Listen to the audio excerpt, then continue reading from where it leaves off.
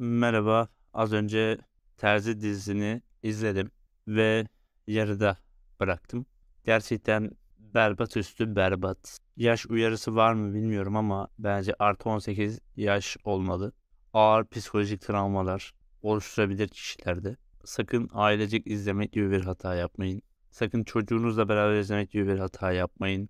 Size kısaca konudan bahsedeyim. Sonra neden yarıda bıraktığımı anlatayım. Konu Kars'ta yaşayan Peyami adında bir çocuğun devletinin yardımıyla İstanbul'a yerleşmesi, orada da çok ünlü bir modacı olması, ardından rahatsız olduğu için babasından utanarak ailesini hiç ziyaret etmemesinden dolayı ailesiyle arasına mesafe koyması, babaannesinin babasını zincirleyerek, evet zincirleyerek odadan çıkmayacak şekilde odaya hapsetmesi, psikolojik bunalımda olan adamın yani tamamen delirmiş olan bir adamın hastane yerine oraya buraya sürüklenmesi ve bilinçsiz bir ailede bu adamın yaşamı aslında bize çerçeve çerçeve gösteriliyor.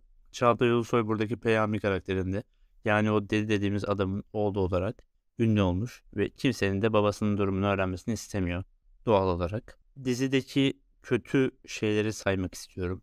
En en en kötü karakter Dimitri karakteri hem gerçekçi değil, yapay, hem ağır travmatik şeyler yapıyor. Eşi olabilecek nişanlısını bir kutuya hapsediyor. Orada uyutturuyor, dövüyor, şiddet gösteriyor. Hiçbir şey yokmuş gibi hayatına devam ediyor. Ayrıca nişanlıyken herkesle beraber olup kadına bir mal gibi davranıyor. Çok ağır ve gerçekten insan psikolojisini bozacak şeyler var. Bunu kendi adıma değil, gerçekten bütün insanlar adına düşünüyorum. Bir kadın da erkek de olsa bu kadar ağır travmatik şeyleri gördükten sonra normal hayatına etkileyebilir.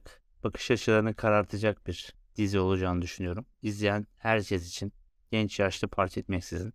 Ayrıca Dimitri karakterini oynayan Salih Bademci berbat oynuyor. Çok sahte ve çok duygudan yoksun bir şekilde oynuyor. Yapay duruyor.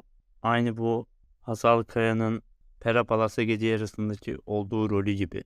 Çok yapay ve çok duygudan yoksun bir halde oynuyor. Dizinin farklı kötü özelliklerini de saymak isterim. Bir diğeri normal bir televizyon dizisi izliyormuşuz gibi çok fazla bakışma ve uzatma sahneler var. Bunun sebebini aslında anlayabiliyorum. Aslında bu dizi ilk başta TV8'e yayınlanacaktı. Sonra Star TV alması, yayınlaması gibi bir durum söz konusu oldu. Sonra belli bir süre hiç kanal bulamadı ve iptal olunduğu düşünüldü. Sonra Netflix'te olacağını da birkaç ay önce öğrendik. Bu söylemiş olduğum bütün süreç bir seneden fazla sürdü. Bir buçuk seneye yakın. Belki bölümleri önceden çektilerse bunu dizi olarak televizyonda yayınlamak için standart kalıplarda çekmiş olabilirler. Ama bu çok bekleme ve bakışma sahneleri beni baydı. Çağatay Ulusoy güzel oynuyor. Tabii ki de. Ama bazı sahneler Netflix'te olduğu için çok göze parmak sokacak şekilde.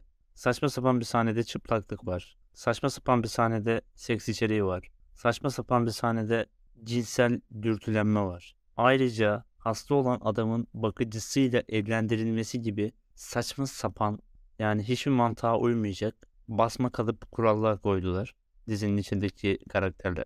Yani bir şey yapılıyorsa sebebi olmalı diye düşünüyorum. Bu tür şeyler beni diziden soğuttu. Dizi bugün çıktığı için IMDb puanı yok. Ama bana göre 10 üzerinden 1, 1.5. O da emeğe saygı yani. Gerçekten gerçekçi bir yorum yapmak, gerçekçi bir puan vermek isterdim. Ama beni irite etti, rahatsız etti. Ve bence vicdan olacak veya gözü olan herkesi bu şekilde rahatsız edeceğini düşünüyorum. Keşke bu kadar ağır dram, ağır travmatik şeyler gösterilmeseydi. Evet, dram konulu filmler, diziler var. Netflix'te de Türkiye'de de. Ama bu kadar travmatik şeylerin gerçek bir hikayeden uyarlandığını biliyorum bu arada bu dizinin. Ama ağır travmatik duyguların bu kadar insanlara gösterilmemesi gerektiğini düşünüyorum. Zaten Türkiye şartlarında kimin huzuru var ki olmayan huzurumuz kaçsın. O sebeple ben beğenmedim. İzlemenizi de önermem. Kendinize iyi bakın. Hoşçakalın.